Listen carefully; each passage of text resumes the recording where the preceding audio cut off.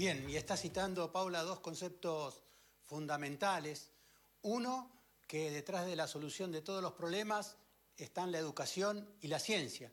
Y el otro, el concepto del ahorro como fundamental para el progreso. Estamos en la Facultad de Informática con un grupo de alumnos y profesores, es la Universidad Nacional de La Plata, que elaboraron un proyecto, como mencionabas al principio, destinado a cuidar el consumo eléctrico, a no malgastarlo, a ahorrarlo. Lucía es profesora y directora del proyecto que presentaron y que fue premiado. ¿Y en qué consiste este proyecto? Bueno, mi nombre es Laura. Eh, el proyecto consiste en poder, eh, poder controlar lo que pasa dentro de un aula universitaria en cuanto a cualquier artefacto que está conectado, ya sea un cañón, una computadora, una estufa eléctrica, eh, la luz.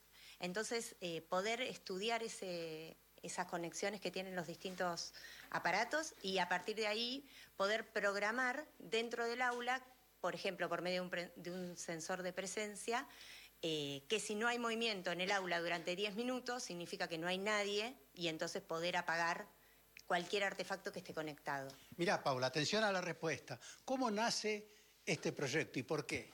Mira, el proyecto nace eh, por una iniciativa de la universidad en cuanto a el incremento en su factura de luz y la cantidad de veces que veían que eh, los artefactos quedaban conectados. A nosotros nos ha pasado muchas veces de llegar un lunes a un aula, abrir la puerta y que esté el aire acondicionado prendido y por ahí habían pasado todo el fin de semana o más tiempo eh, el aire conectado y nadie lo, lo había apagado. La ciencia acude en auxilio de la economía en este caso, de la economía de recursos. Miren, pero es un equipo, ¿eh? Es un equipo, hay profesores, hay alumnos.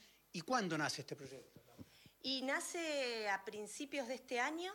Eh, nosotros nos presentamos a unos subsidios que daba la, SPU, donde uno tenía que vincular la universidad o la facultad con alguna empresa para desarrollar un producto que sea de interés general.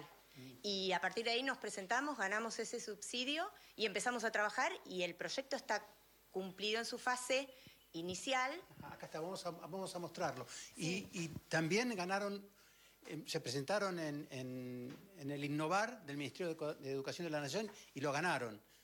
Sí, nos presentamos la semana pasada en el concurso Innovar y en el marco de ese proyecto la Fundación IPF eligió tres proyectos eh, que tengan que ver con la energía sustentable y uno de los ganadores fue el nuestro, así que estamos muy contentos. A ver si, a ver si le explican a la gente en qué consiste, sencillamente. Sí, Paula, te escucho. No, después de ver en qué consiste, que, que es más que interesante, a ver, digamos, si esto tiene como una aplicación rápida en nuestros hogares y se puede traducir en un aparatito fácil de tener en nuestros hogares para poder justamente lograr lo que se está logrando allí en la universidad, reducir la cantidad de energía que consumimos. Claro, es una progresión. Depende de cómo avance el proyecto en su eh, consumación. Claro. Pero está primero lo proyectaron para un laboratorio, después para toda la universidad, pero esto tiene mayor alcance, posibilidades infinitas. Sí, las posibilidades son grandes, digamos. Nosotros eh, sí nos enfocamos en lo que necesitaba primero la, digamos, la universidad. Tratamos de adaptarnos, eh, estudiar, digamos, los ambientes donde están, que, por ejemplo, muchas veces la infraestructura, digamos, de las distintas facultades digamos, eh, son diferentes, algunas no tienen eh, internet, por ejemplo, o no tienen internet cableada, o algunas tienen wifi, bueno.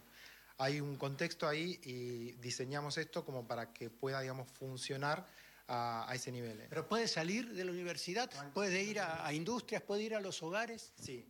Como está planteado, digamos, no es solo el tablero. Como te decía, la idea es controlar, por ejemplo, primariamente un aula, ¿bien? Pero eso está conectado en red, ¿sí? Y uno puede controlar a través de un servidor, digamos, eh, todo un edificio. ¿Cómo es tu nombre? César. Descríbeme esto en tres palabras. Bien, esto es, es una maqueta, ¿sí? simula un poquito, eh, digamos, las condiciones que, necesitamos para, para probar, digamos, el, digamos, el, experimento, ¿sí? Eh, tenemos un tablero principal, ¿sí? Que en esta versión tiene un tablero físico, que puede no tenerlo si uno necesita ahorrar costo, eh, ese digamos, tablero eh, controla en principio todas las funciones. ¿sí? Se puede programar, se pueden programar eh, eventos, alarmas para que se apaguen, para que se prendan artefactos, luces, digamos, lo que uno tenga conectado, pero también funciona en red con este otro tipo de aparatos. ¿sí? Este otro aparato es similar, pero bueno, la idea es que como en un aula, un aula puede ser muy grande, eh, y, para evitar eh, conexiones, ¿sí? pensando también en la infraestructura, a veces es muy difícil eh, saber cómo están conectados, cómo está hecha la red de alimentación, por ejemplo, la red, digamos, de conexión. Sí. Laura, sí, sí, sí, sí. entonces pueden funcionar en red de manera de tener sensores individuales y controladores individuales que responden al, al panel principal. ¿Qué van a hacer con los 100 mil pesos que ganaron? No sé, no, no, la idea es que esto se presentó por medio de un instituto, que es el donde nosotros trabajamos, que es el ILIDI, y seguramente seguiremos invirtiendo en el proyecto. Ya eh, se está firmando algún acuerdo con la facultad y entre la facultad y la universidad para generar 100 tableros para instalarlos. Así que seguramente se usará parte de eso y parte que genere la universidad. Esto va creciendo. Volvemos al concepto principal, ¿no? La educación, la ciencia, la investigación para la solución de los problemas. Nació para solucionar un problema acá en la, facultad y, no tiene límites. Estos son los autores. ¿eh? Yo, yo, les pido un aplauso para ustedes mismos, vamos. ¿Eh? un aplauso para la educación, para la investigación y para el ahorro, Paula. Así es, maravilloso, ¿eh? Cuánta gente pensando en solucionar los problemas cotidianos.